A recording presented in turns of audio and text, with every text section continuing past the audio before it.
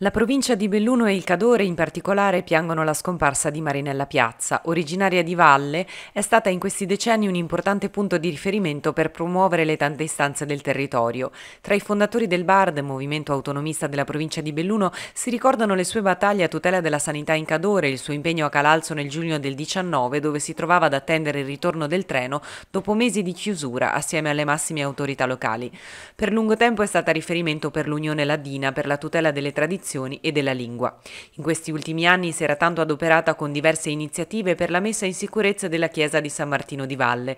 Per i bambini della locale scuola aveva realizzato un orto a Pian de Val dove i piccoli studenti avevano imparato a coltivare tutte quelle piante che per secoli avevano costituito una fonte primaria di sostentamento delle passate generazioni.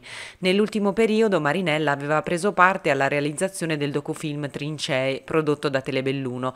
È stato grazie alla sua passione e competenza che è stato possibile possibile realizzare le puntate dedicate alle portatrici e ai bambini di guerra.